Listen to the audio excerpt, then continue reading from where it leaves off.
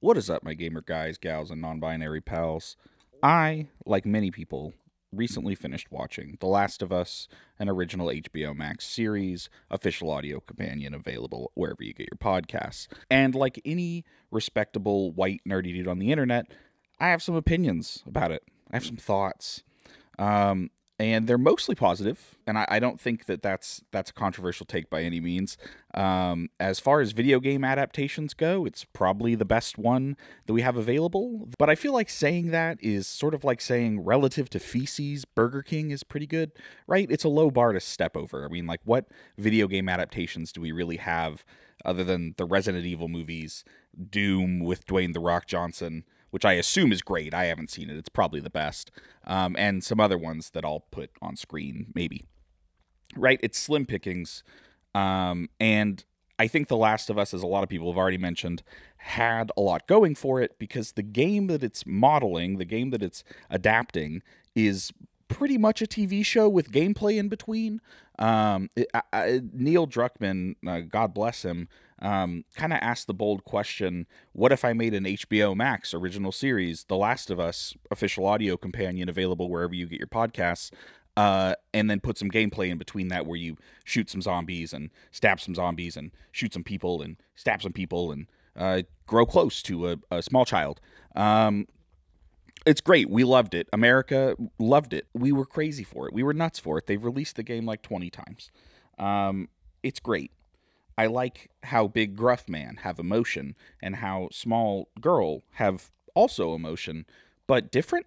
And then their emotions come together and, and they're better for it. But at what cost? It's all great.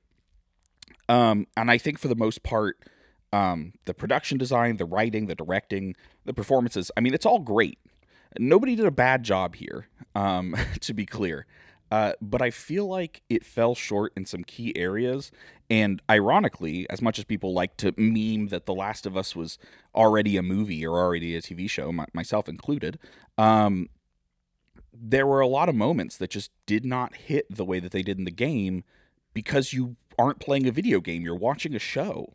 And I feel like the show, ironically, kind of shot itself in the foot by not taking longer by not making the first game like two seasons. I was really surprised that they crammed everything into one season. Like, what's the rush, guys? You have like a veritable cash cow on your hands.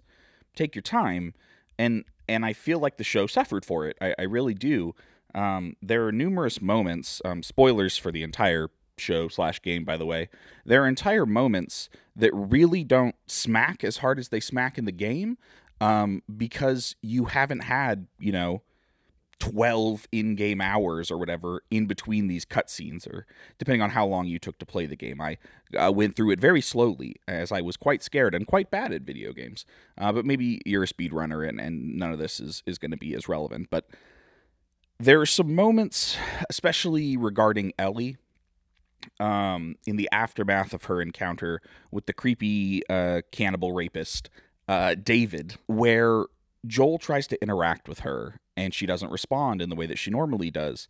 And they reproduce that in the show, but it really doesn't hit the way that it does in the game because in the game you've been having these interactions with Ellie back and forth for hours and hours and hours that you've just been, you know, fully invested in the whole time. You're not jumping to different characters' narratives. You're not having a whole episode dedicated to a side character's backstory, which don't get me wrong, episode 3, Ron Swanson and the gay hotel manager from White Lotus season 1 absolutely ripping out our hearts.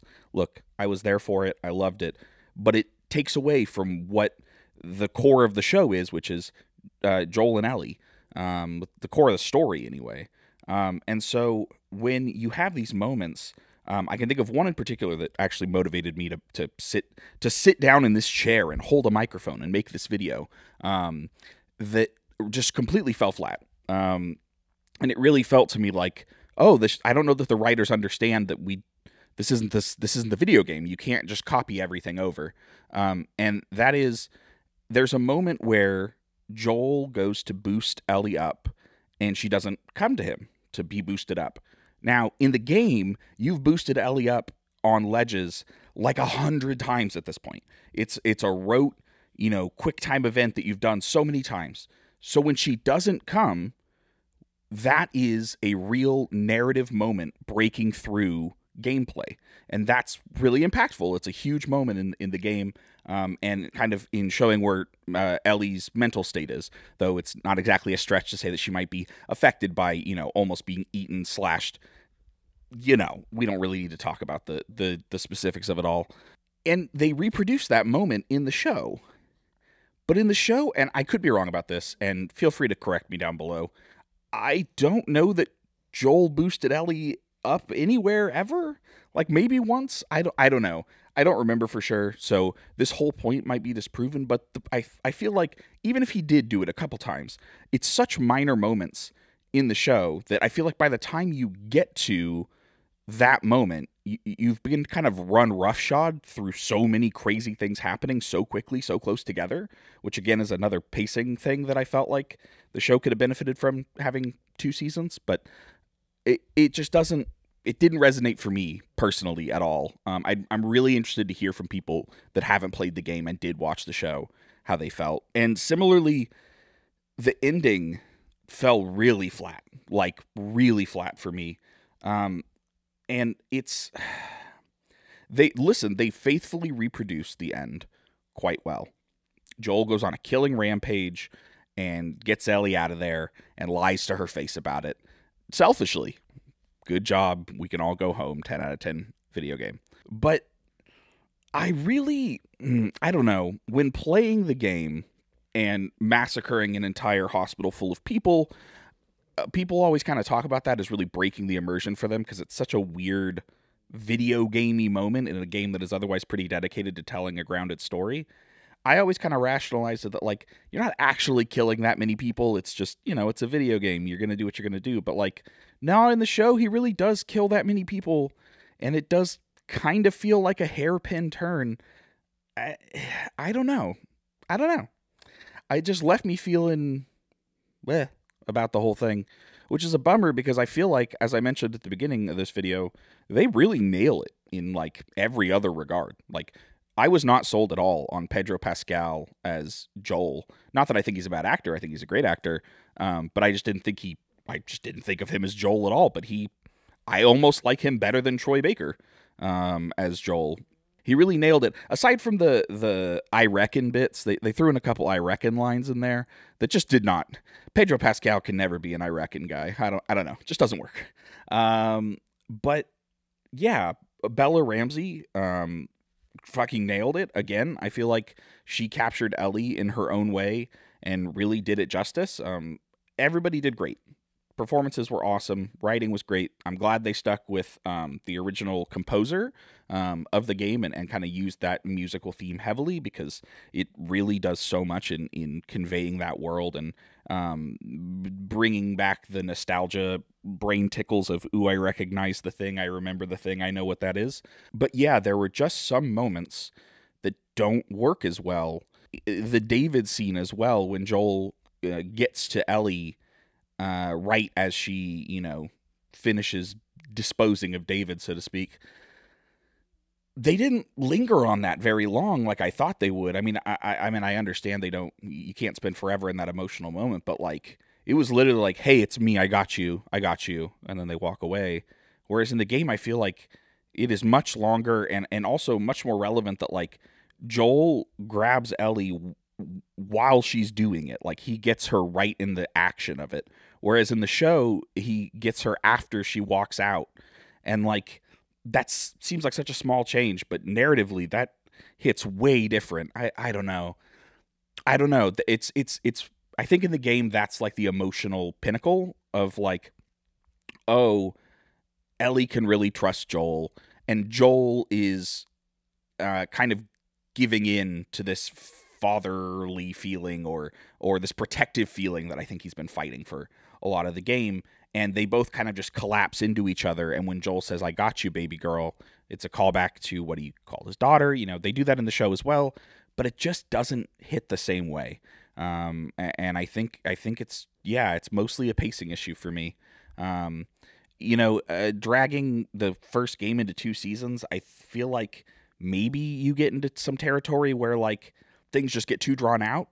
But I also felt like there was whole sections of the game that they really kind of zoom through that you could have taken, you know, little bits, uh, could have taken more time on, um, because the whole thing that the show is hinging on is Joel and Ellie's relationship, and ironically, I don't feel like they spent enough time just with them having conversations and having those moments. I, I feel like weirdly there just wasn't enough of that. I would have to rewatch it, I think, ultimately, to to feel really confident about that. But this is just kind of first impressions, buzzwords. I'm trying to ride some sort of wave. I don't know. I just wanted to make this video and talk about it and hear what other people think because I have some friends that are watching it that haven't played the games, um, and I haven't really gotten their full opinions that they're not done. Um, so I figure I would toss the frisbee to the internet um, and hope that they don't toss it back at my head too hard. So overall, yeah, like a seven out of ten if I had to give it a number rating. Everybody did gangbusters, um, but in relation to the game, it just there are really key moments that just kind of fell flat, um, and and that's a bummer. I also don't know what the hell they're going to do with season two. I mean, I, I assume that if Druckmann's involved, it's just going to be The Last of Us 2, but man, that's going to be a much harder story to like get people on board with and and the the narrative is a much much more convoluted kind of theme. I mean, ultimately it's the theme of revenge and murder, violence bad, love good, let shit go and and love instead of hate. Um, but like the path it takes to get there is like much less, you know, straightforward and immediately understandable than the dynamic of man lose daughter, man find girl, man uh, start to eventually like girl, and now they're like father and daughter. Like very understandable. We see where it's going, but we're along for the ride, and it's a compelling ride, and, and we love that. Um, so yeah, I don't know. That's it. Did you like The Last of Us? I liked it not as much as I could, but I enjoyed it quite a bit. How about that for some nuance on the internet? Um, any last words from the dogs?